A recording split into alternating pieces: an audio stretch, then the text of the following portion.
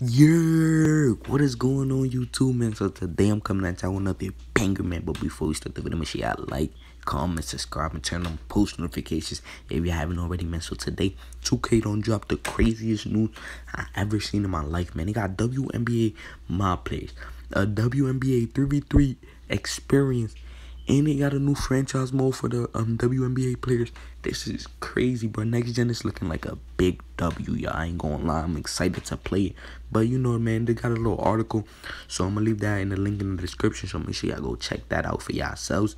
But without further ado, let's get into like the little trailer. Let's get it.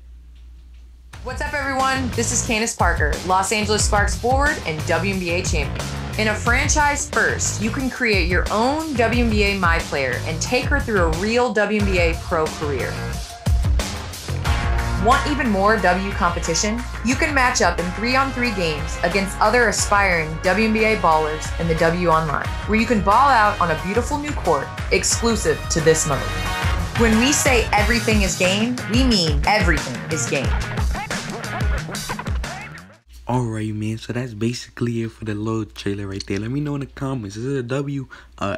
Let me know if y'all gonna make the if y'all gonna make some female mob players. Let me know everything in the comments down below. But that's going to do for today's video. Make sure you like, comment, subscribe, and turn on post notifications. And I'm out. Peace.